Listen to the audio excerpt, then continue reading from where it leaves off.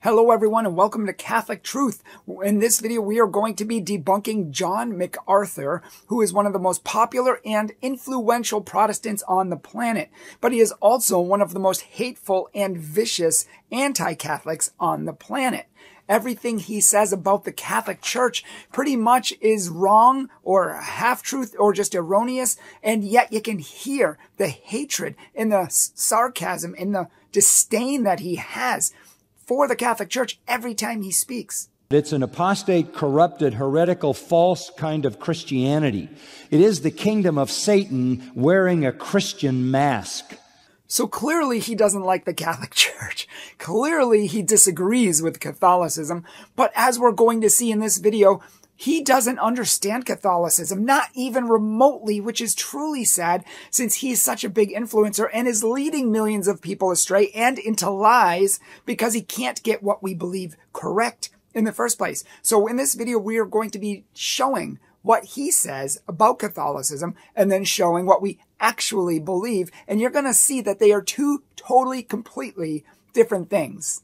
This is a 45 minute video of John MacArthur with debunking. So this is only part one. We're going to be making parts two and three, and we're going to have a whole CD set on this, a whole CD downloadable content on our website. But we're going to put up a few parts here on YouTube as well. And this is only part one because we can never cover all of the errors in one video.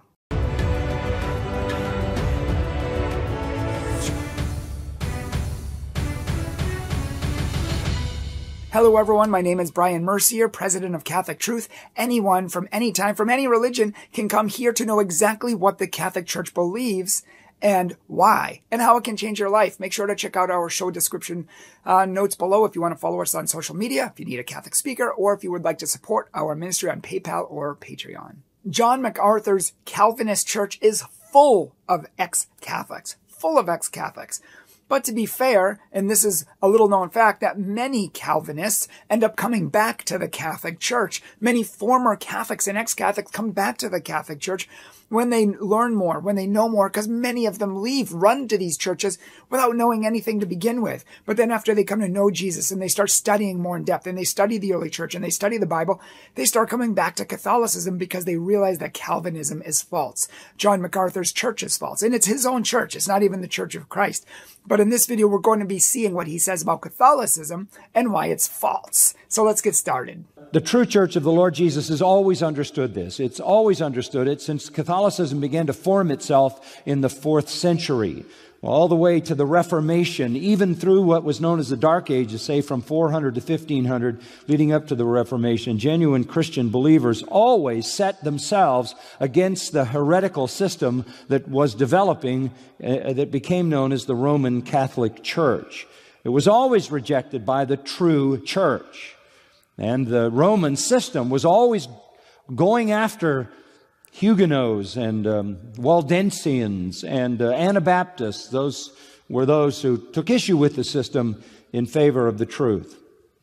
Don't you just love a good conspiracy theory? I mean, what he says sounds a lot like the Da Vinci Code, and to be honest, it's just as credible. And uh, he doesn't know what he's talking about with church history, and he makes these sweeping statements without any facts or very few facts to back it up.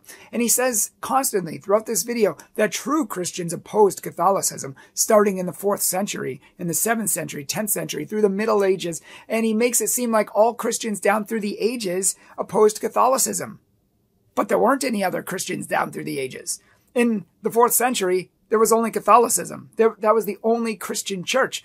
If he's going to uh, assert that there's another Christian church, then he actually needs to prove that. He needs to show what church this is. Was it Calvinist, as he believes, or was it Lutheran, which disagrees with Calvinist? Or was it a Baptist church, which disagrees with both of them? Or was it Pentecostal in nature?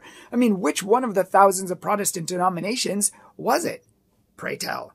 The fact is, he can't name any leaders of this supposed early church in the 10th century, the 7th century, the 4th century. He can't name any of the Christians because there weren't any other Christians other than Catholicism. And people who say, oh, there were other Christians always, they just say that, but they can't actually name any, and that's a huge problem. People like this always say that true Christians oppose the Catholic Church, except that they jump to the Reformation or right before the Reformation and they show people like Wycliffe or Luther or things like that. And that's like 1500 years later. That's not the fourth century, the seventh, the 10th, or anything else. They jump to the Reformation when their history starts or shortly before.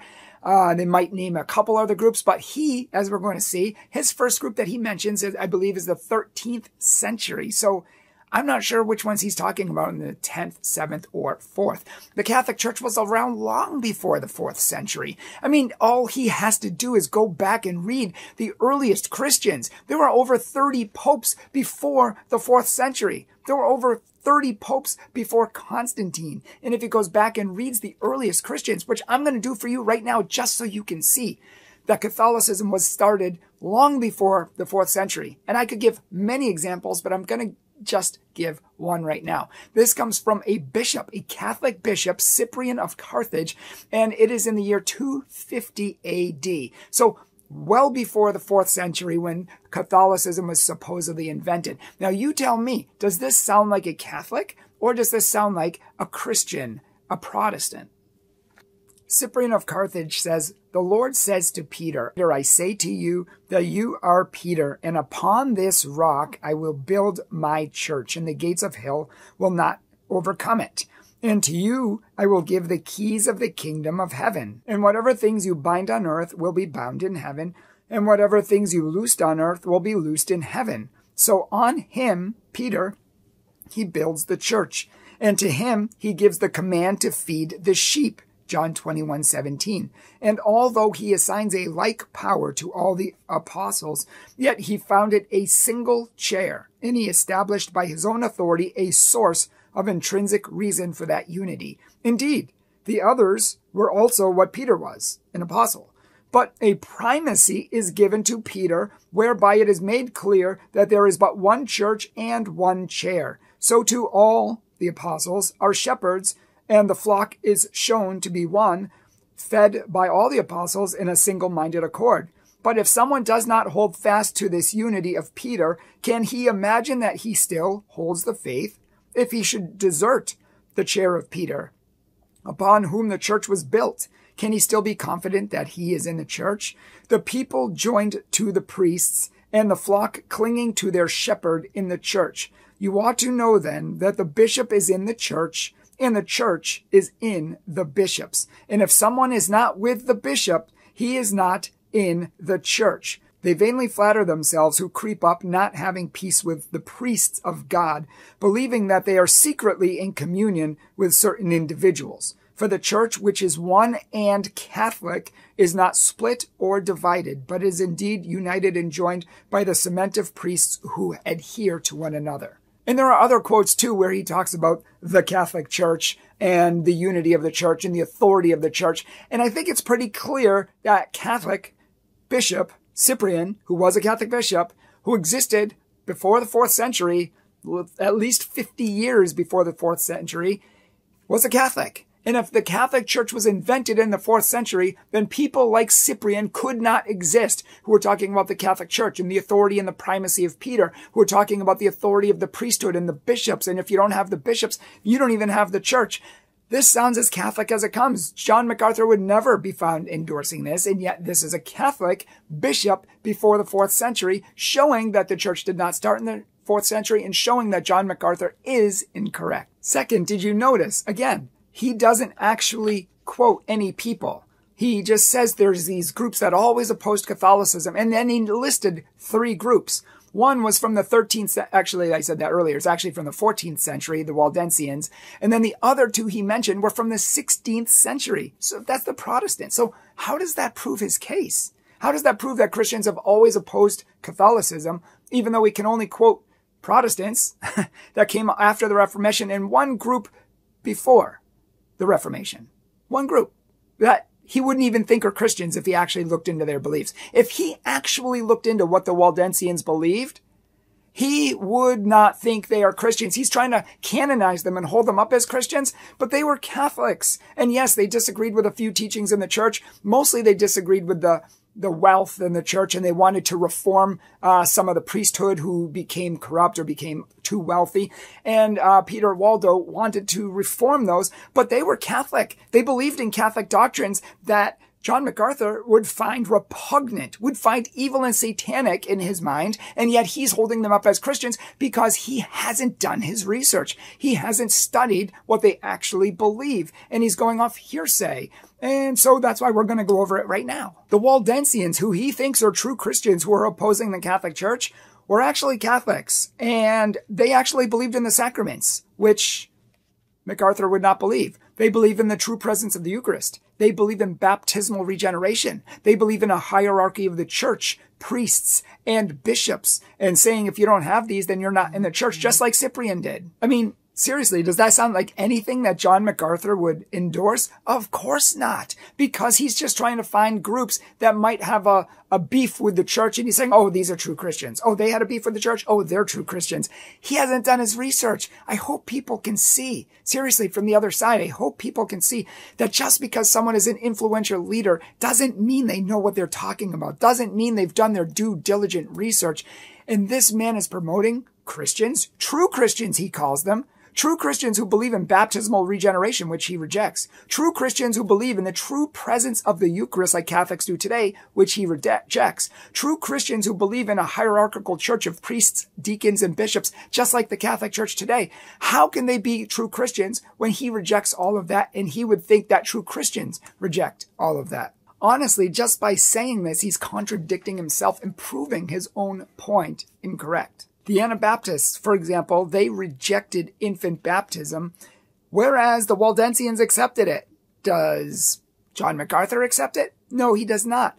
Therefore, ergo, he would not see these people as true Christians, even though he's calling them true Christians. He's literally contradicting himself. What Mr. MacArthur is doing is taking any heresy that's been in the church or any group that's disagreed with the church and he's putting a stamp of approval on them because they oppose the Roman Catholic Church. Therefore, they must be good. This is literally the shallowest of arguments. Uh, for someone who's such a great influencer and has a lot of influence over millions of people, they should do more research on these things before they present them. I mean, it's really, truly sad, but I hope to be able to show people that he really doesn't know what he's talking about, even though he comes across so confidently. Beware people. Just because someone acts confident, talks confident, condemns others, doesn't mean they know what they're talking about. And as we're going to see, he doesn't present a lot of facts throughout his whole entire 45 minute presentation.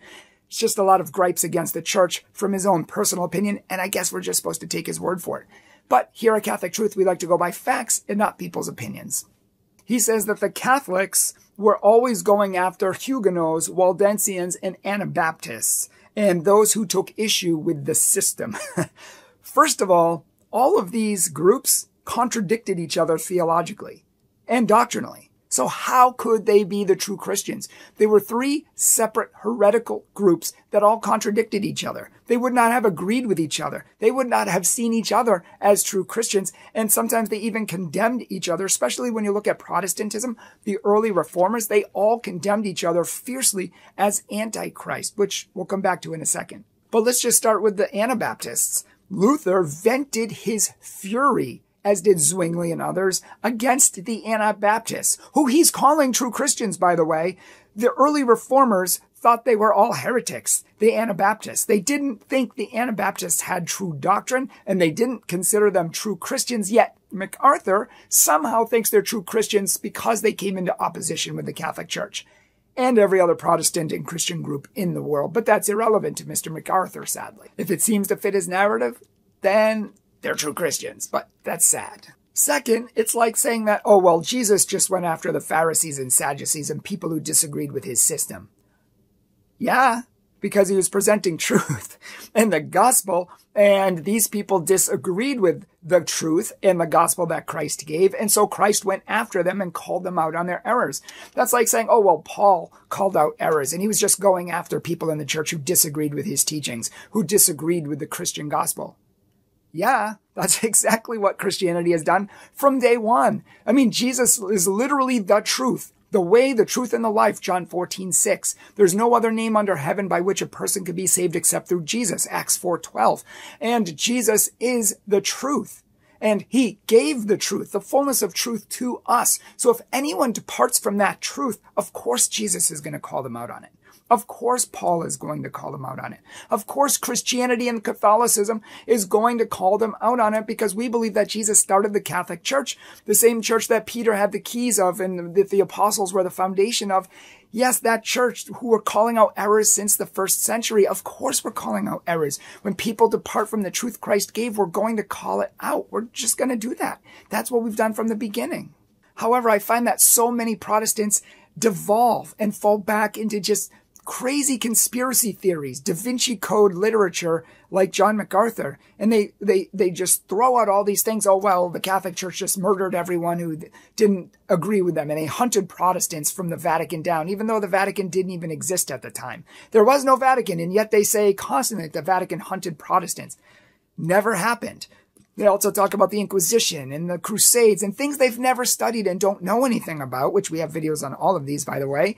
And they say things like, especially the most anti-Catholics, they'll say things like, oh, the Catholic Church killed 50 million people, you know, in Europe, or just 50 million people in general. But to kill 50 million, 30 million, or even 20 million, literally, you would have to kill every man, woman, and child in Europe and then import millions more just to kill them all again, because there weren't even that many people on the continent in those days. And yet they're making these just outlandish nonsense claims of almost like hate and disdain that aren't based on fact and reality. And I hope people can see that just because people make claims, you have to do the research. Look them up.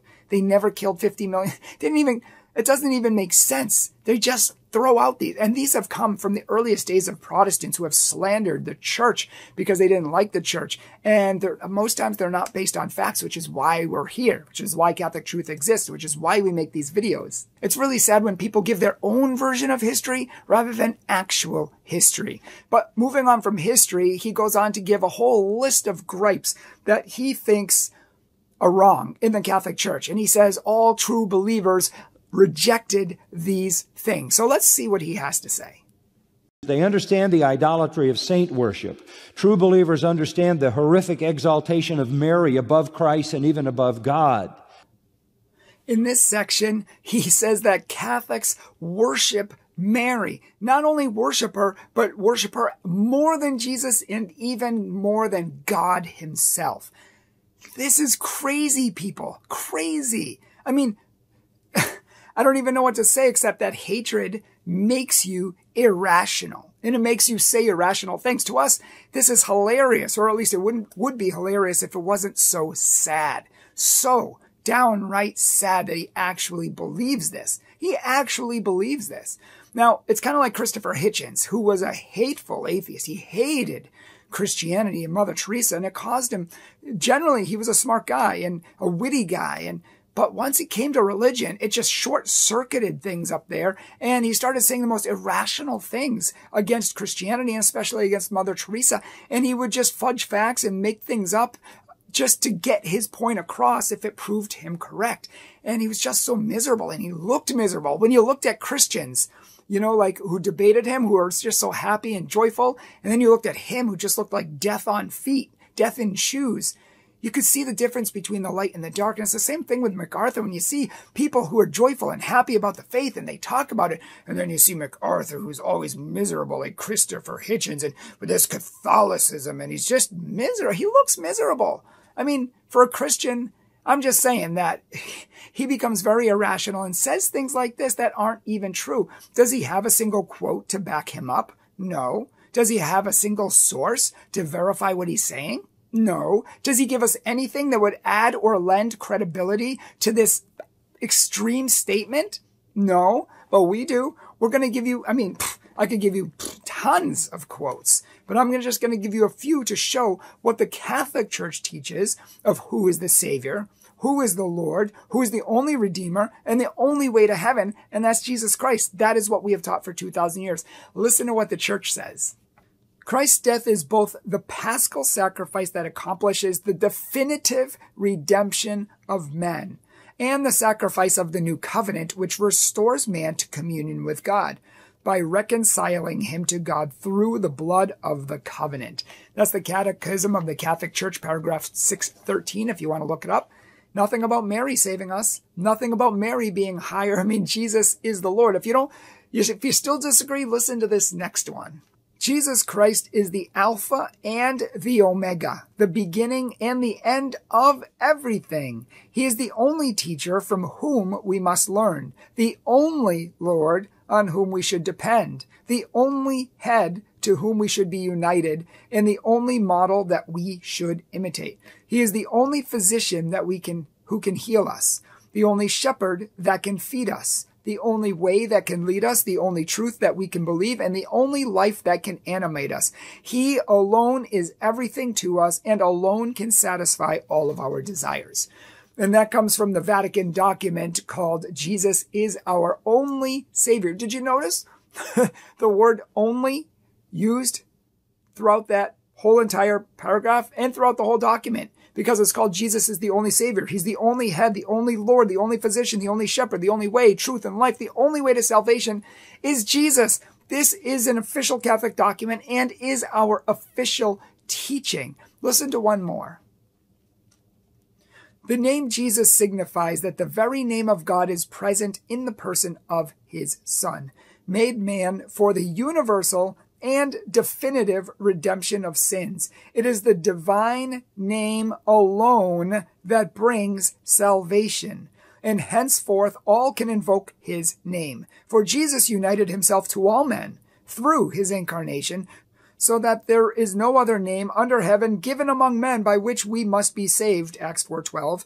The name Jesus means God saves. And that comes from the Catholic Catechism, the official catechism of the Catholic Church. Notice nothing about Mary redeeming us, nothing about Mary forgiving our sins, nothing about Mary being a savior. And some people say, oh, but you call her co-redemptrix. Actually, that's not an official title of the Catholic Church. And even if it was, you don't know what that means. They just throw out this and they think that, oh, Mary's a co-redemptrix. That means she's a co-redeemer. That means she's co-redeeming us with Christ. That's literally not even close to what that means. the only reason Mary participates at all is because God chose her from all eternity to bring salvation into the world. He chose her to be the mother of Christ and that Christ would come through her into this world. That is how she participates with us. She's not a co-redeemer. She's not redeeming alongside Christ. She's not next to Christ, you know, doing everything, you know, doing his work for him. No, the Catholic Church does not teach that. And any quote on Mary needs to be taken in this context. I can't help but quote just one more. And this is from St. Louis de Montfort, who has a very strong devotion to Mary, very strong devotion to Mary. And he starts out the book with proper theology. People will just go to his book and take out quotes and be like, look, he worships Mary. But they don't actually read the book and they miss quotes like this, which is the foundational context for the rest of the beliefs, which is the rest of the books, the rest of uh, his thoughts on it. Listen to what St. Louis de Montfort says, and the Catholic Church, you know, totally endorses this. He says, with the whole church, I acknowledge that Mary being a mere creature fashioned by the hands of God is, compared to his infinite majesty, is less than an atom, or rather is simply nothing, since he alone can say, I am he who is. Consequently, this great Lord, who is ever independent and self-sufficient, never had and does not now have any absolute need for the Blessed Virgin for the accomplishment of his will and the manifestation of his glory. To do all things, he only has to will them. Wow. So he says what all Catholics believe and what the church teaches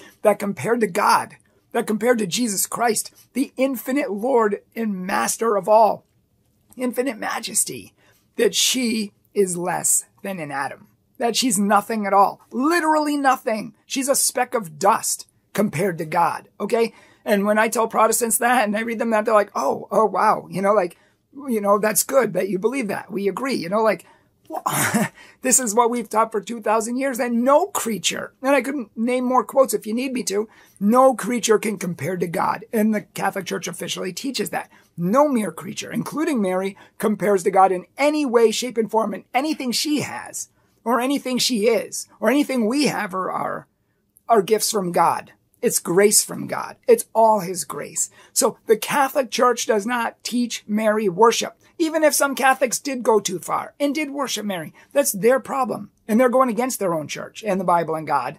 That's not what the Catholic Church teaches. And I hope people can see that distinction that the Catholic Church has taught for 2,000 years that Jesus alone is a Savior, Redeemer, King, Lord of all, Alpha, Omega, everything. And that Mary is nothing without him. The everything she has, all the beauty and grace she has is all a gift from him. They understand this twisted sacrament of the Mass, which uh, attempts to re sacrifice Christ. In this section, he says that the Catholics twist the sacrament of the Mass and attempt to re-sacrifice Jesus again and again. Why do so many, now most Protestants don't say this, anti-Catholics say this. Catholic haters say this. They say that we re-sacrifice Jesus again at the Mass every day, thousands of times over. And this is the farthest thing from the truth. How many times do I have to say this? And John MacArthur clearly has never read a single Catholic document and actually like listen to it. I mean, there are people out there who try to, you know, read things to just prove their points without actually reading them for themselves.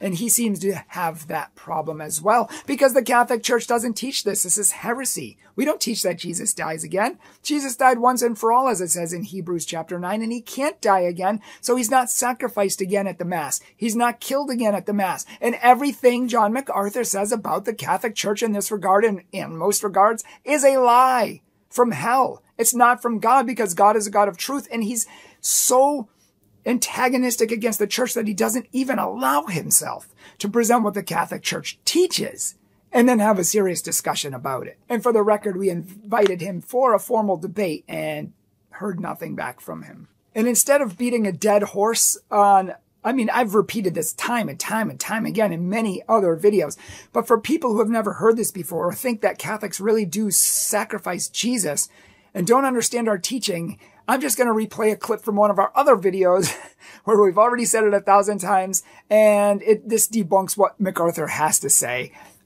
hands down. He falls for the classic Protestant anti-Catholic blunder, which says that Jesus is re-sacrificed every mass for us. And he says, why would I be part of a system that re-sacrifices Jesus when Jesus' sacrifice was done once and for all? This is a huge disservice and a huge slander because the Catholic Church has never said one thing. And I would challenge any Protestant out there to find me one verse, just one quote in any official Catholic source or teaching that says that Christ is re-sacrificed over and over again at every mass. And we have to re-sacrifice him because somehow his sacrifice on Calvary wasn't good enough. And if it wasn't good enough on Calvary, how's it going to be good enough re-sacrificing him at the Mass? But of course, the Catholic Church says just the opposite and has reiterated over and over and over and over again that Christ does not die again. He can't die again. The Bible specifically says that he died once and for all.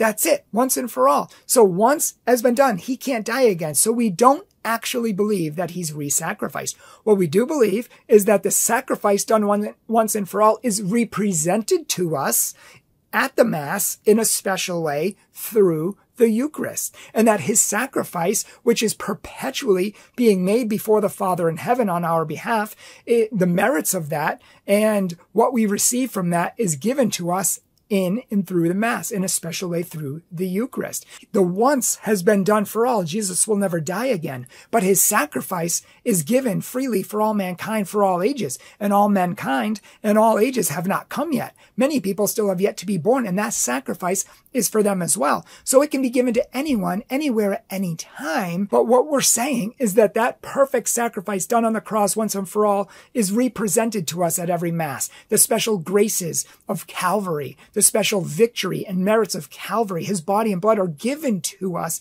in a special way, represented to us in a special way at the Mass, because Jesus is constantly making intercession for us and constantly being our victim in heaven and presenting himself to the Father on our behalf for our sins, for our salvation. And we receive the merits of that at the Mass. Not that Jesus is actually killed over and over again. That would make absolutely no sense. I'm going to quote to you first the Catechism, paragraphs 130, 153, and 162. I'm going to summarize them.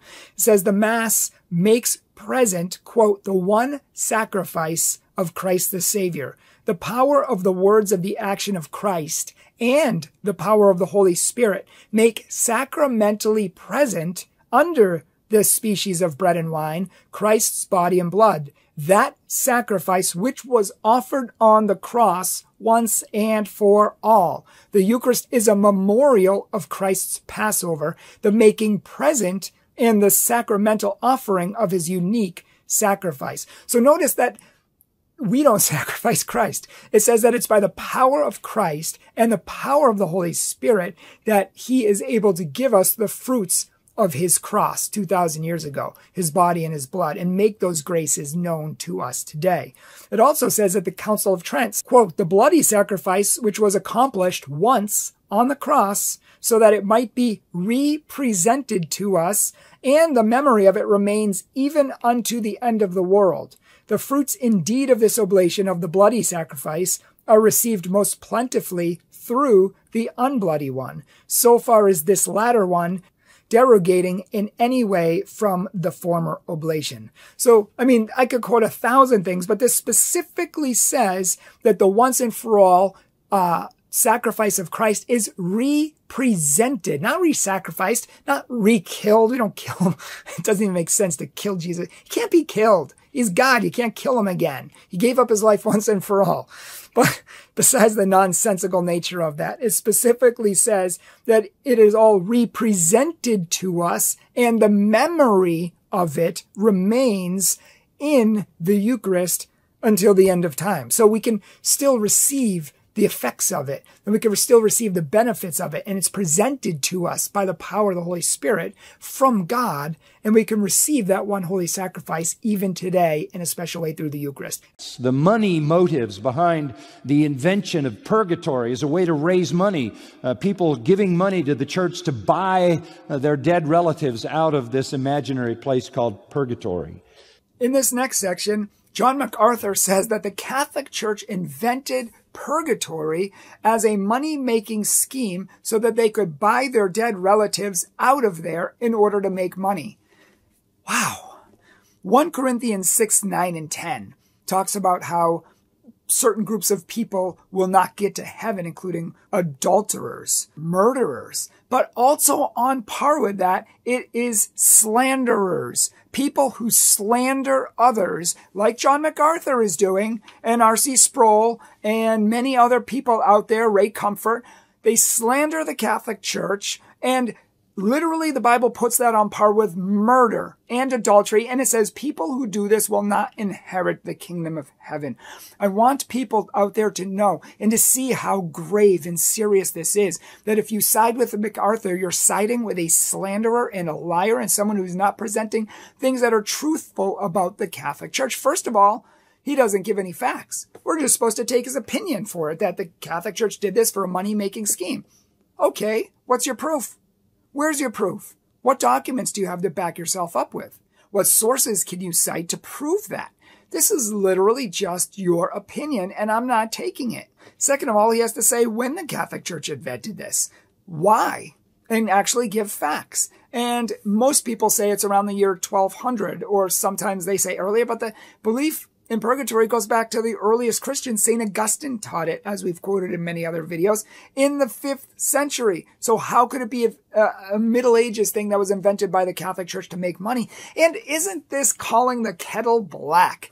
Mr. MacArthur making millions on preaching the gospel. Millions. I mean, some people, if you look online, it says some websites say that he's worth 14 million, and that's come from popular net worth Com. He says he's worth $14 million and he's talking about the Catholic Church making money. He's taking advantage of all these people in his pews who know literally nothing.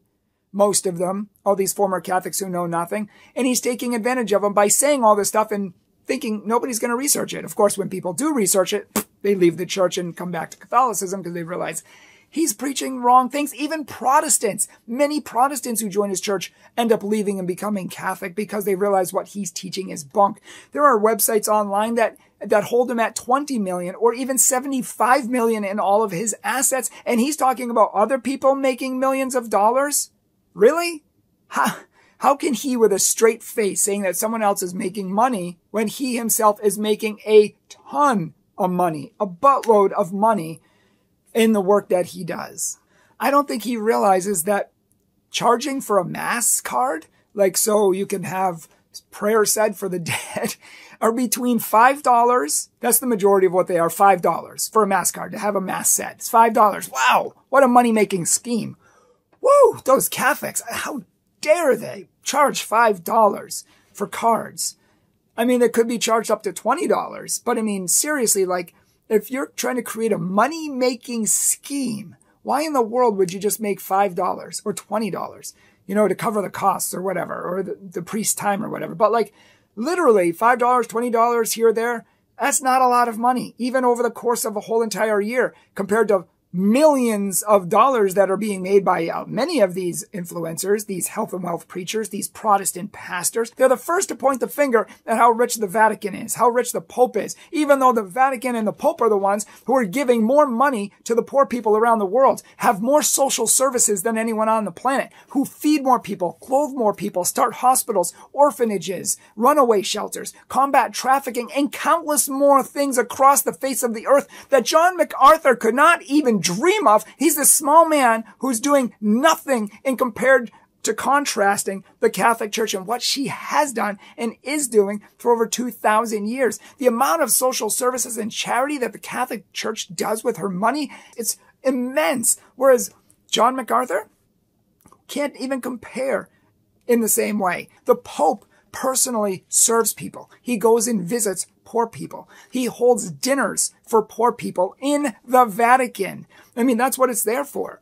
he actually has hundreds of homeless people from around Rome come there and have the most glorious dinner they've ever had in their entire life. They receive showers. People shave their beards and they treat them with the worth of an angel. They treat these people with the utmost dignity and they love them and they help them and they feed them. When was the last time, Mr. MacArthur, that you invited poor people to your house to throw an extravagant dinner? To love these poor people, to help these poor people. When was the last time you did this? When you got down on your knees and you washed their feet? You're pointing the finger and yet the mirror's right back at you we're just scratching the tip of the iceberg of his errors here, but we're starting to get a little long-winded. But in the next section, which we're going to save for the next video, you're going to see that John MacArthur actually keeps referring to the true church. The true church rejects Catholicism. The true church rejects uh, Roman Catholicism. The true church has always resisted this system. The true church has resisted the Pope. The true church, the true church. He says it like a hundred times.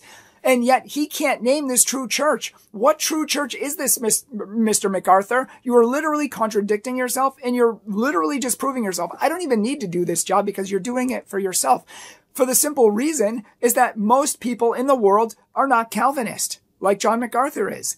John MacArthur believes that Jesus went to hell, literal hellfire, for three days. He went to eternal hell for three days and burned there for our sins. There is no other Christian on the planet who believes that. John Calvin believed it, and hardcore Calvinists believe it, although many Calvinists do not believe it. But John MacArthur believes this. So pray tell, Mr. MacArthur, which Christians are the true Christians? The ones who believe that Jesus went to hell for three days like you? Or all the other Christians in Christianity across the board, including Protestants who reject that? You're trying to make all of Protestantism or pretty much any Christian who disagrees with the Catholic Church, all one church, when you all disagree on the basic fundamental doctrines.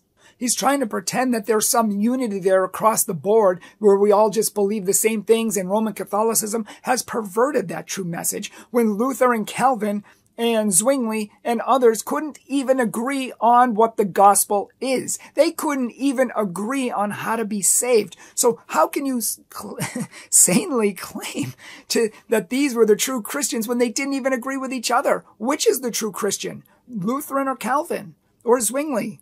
You know, Presbyterian or Baptist? Pentecostal or Methodist? I mean, which one? Or Anglican?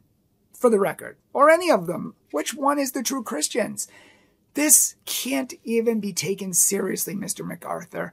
And the fact that he repeats these over and over and over again to his audience, the true Christians, the true Christians, the true, it's a subtle brainwashing that doesn't make it any more true. And we're going to go in deep, diving depth into this in the next video, part two, to show just how monumentally untrue this is and just how divided the early reformers were, how they attacked each other as the Antichrist, literally said that each other was the Antichrist, said that they weren't even true Christians. Martin Luther said Zwingli didn't even have the Spirit of Christ. Zwingli was another Christian. He was another reformer, and he said he wasn't even of Christ. And Zwingli said the same thing of Luther.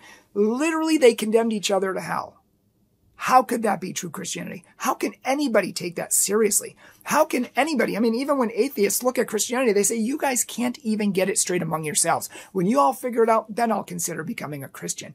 And I say, you have a good point. But it wasn't always that way. There was pretty much one church for 1500 years until the Protestant revolt the Protestant anarchy. And since then, there have been thousands of religions. Just from Luther alone, by the time he died, there were over 240 new religions, and now there are thousands, and it is confusing. And it isn't from Christ, because Christ says in John chapter 17, I pray that they would be one as we are one. And also in uh, the epistles of Paul, he says that there is one faith, one hope, one baptism, one doctrine. And anybody who departs from that doctrine, it's called schism, and it's seriously condemned in the Bible. Are you in schism? Have you left the Catholic Church without researching it first? I almost left the Catholic Church because I was scared that the Catholic Church might be wrong. People were telling me about things in the Bible and showing me where Catholicism was wrong in the Bible and saying this and saying that. And I had no idea. But rather than get scared and run off and join these other religions or just leave the Catholic Church because I've discovered that it's evil by reading the Bible, which is really what other people just told me the Bible says, I went and researched it first, did some deep research, and I found that the Catholic Church actually has really good answers for believing what she does from the Bible. And it can be backed up by history and tradition, which the Protestants can't be. They just go by their own personal interpretations of the Bible, their personal opinions, but it can't be backed up by history or what the earliest Christians taught. So if you're someone who has left the church, or if you're struggling, or if you have questions, this is why we're here. We're here to help answer your questions. We're here to help answer your doubts. We're here to give you good answers to your good questions. And if you're someone who has left, and I know many are looking back. And I just know from every week here, people tell us that because of your ministry here at Catholic Truth, we've come home. Or we're a Protestant, we're coming into the Catholic Church, which is amazing. And we thank Jesus Christ for that. We thank our Lord for allowing us to have a small part in your conversion experience in that. But if you are someone, eh, you can reach out to us uh, and check out our videos and do some research. Read the Catechism. Read the uh, uh, books. I have several books on what Catholics truly believe. It's much different than what people say we believe. And I would challenge you to watch our videos, listen to our podcasts, and read some good books on the subject. You will see the truth as Jesus talks about in John chapter 8, and that truth will set you free. Thank you so much for watching this part one. I can't wait to make part two and get it out here and part three and part four as well. This is going to be about a three to four hour debunking and it's going to be long because there's, I just want to show people how many errors are in one short 45 minute talk of John MacArthur, just how many wrong things he says. Same thing with Mike Gendron and Ray Comfort and many of the other people out there who haven't done their due diligence or research. But thank you so much for watching. Please share this with everyone you know so we can get the truth out there and undo a lot of these lies. Share it on your social media. Send it to people who hate the Catholic Church. Put it on all John MacArthur's videos. And if they turn on the, off the comments, put it on other people who post his videos and put these, this link in all of these other places so that people can see what the truth is, what he says, and then what the truth is. Make sure to follow us on social media below if you would like daily inspiration. If you would like us to come to your church or your parish to give you apologetic seminars or just to give you a retreat or a conference, something inspirational, please check out our website at catholictruth.org. And if you would please consider supporting our ministry one time, periodic, or even monthly see our Patreon or our PayPal down below. You can support this ministry, the work we do, the people we're bringing home, the lives we're changing, the souls we're saving, all the work that God has asked us to do. We are trying to do and to do well. And we need people like you to help support this growing ministry. So please support our ministry generously and we will be forever grateful. Pray for us as we're always praying for you. God bless you.